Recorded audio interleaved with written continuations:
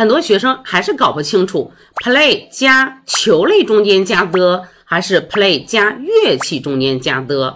一个视频搞定，play 加球类中间是不用冠词 the 的，为什么呢？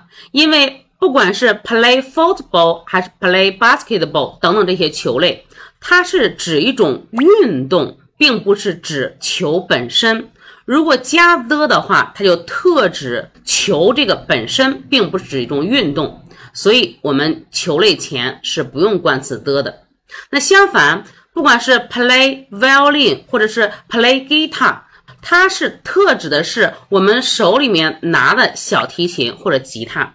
所以，我们是必须加 the 的，或者是我们可以简单的记，凡是一种集体运动，我们中间不用加冠词；如果是一种单个人的运动，是必须加冠词的。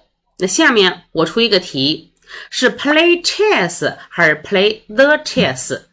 我们都知道下象棋是一种集体运动，所以我们中间是不用冠词的，应该表示成 play chess。